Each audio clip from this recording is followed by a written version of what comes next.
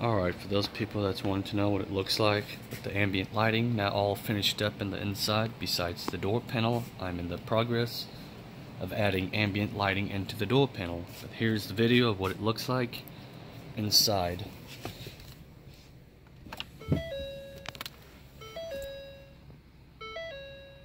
Got your uh, floor here, driver's side. You got your little storage area you got your little cup holders. You got your passenger side. And if you go in the back, see if I can show you guys in the back. I can't see it too well, but you can kind of see where it's reflecting off the little plastic clips I have. Here's what it looks like in the back. My camera's a little blurry looking. But this one here, one shines on the driver's side and one shines on the passenger side on the wheel, on the back floorboard.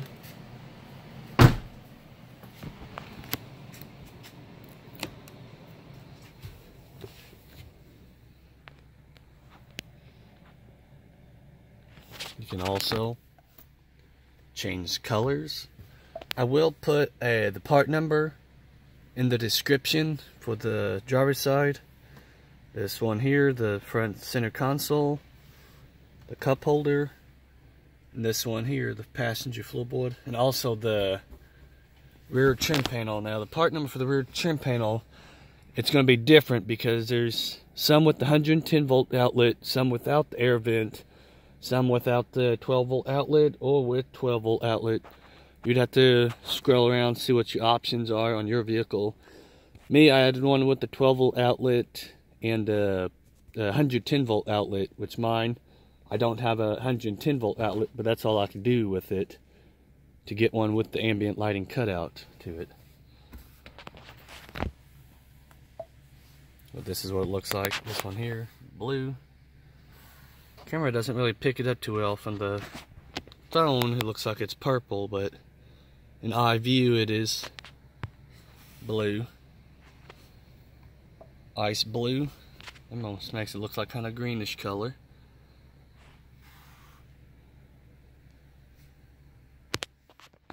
Orange. Doesn't really look like orange, but the camera looks like it's red.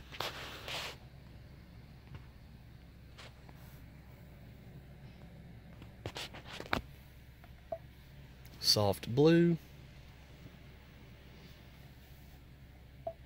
Red, green, almost looks like a yellowish color, and blue, and purple. Now, the camera looks like it's kind of pink.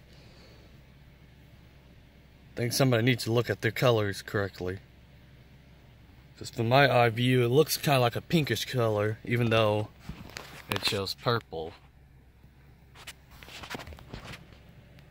That's what it looks like with the ambient lighting. I'll be keeping more videos posting on doing the doors.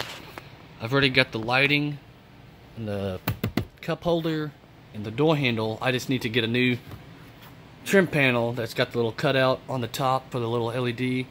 But they want $130 a piece just for this trim panel. And I'll have to do all four of them if I'm going to do all four of them. I haven't decided if I'm going to do the backs yet or not, but I know I do want to do the drive side and the passenger side. So $130 a piece for that. And I can't seem to find one that's in my color. This one's here is just kind of like a, I guess a gray one, gray interior trim panel. There's one I have laying around. This is the same color. Right here is like a wood grain trim.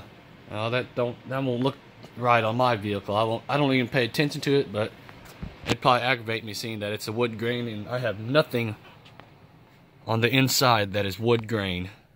So it, it kind of throws stuff off. Like, wait a minute, something ain't right here. But that's just a little video showing how this ambient lighting turned out on my car. Thanks for watching.